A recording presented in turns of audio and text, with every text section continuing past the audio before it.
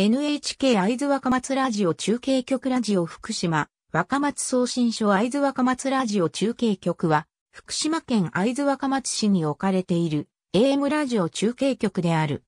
NHK 福島放送局のラジオ第1ラジオ第2放送及び RFC の中継局が地局され、会津盆地の比較的広い範囲に電波を送信している。正式な送信施設名は NHK が会津若松ラジオ中継放送省 RFC が若松放送局である。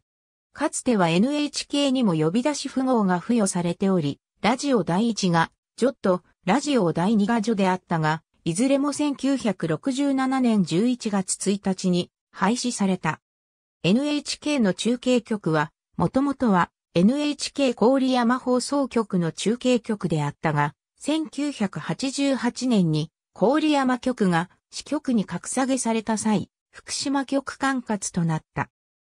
RFC は1992年3月に行われた周波数変更と同時に出力を NHK より増力したが、送信所のある会津盆地と会津地方南西部の間に比較的標高の高い山地が連なっており、地表波の減衰が著しいことに加え、夜間は電離相反射により他地域の同一周波数の放送局が渾身し、AM の電波特性上放送内容が重なって聞こえてしまうことから、蒸気地域では聴取しづらい場合がある。なお、該当地域には、在福島の AM 放送局では NHK のみが中継局を設置している。NHK 年間75-315ページ。ありがとうございます。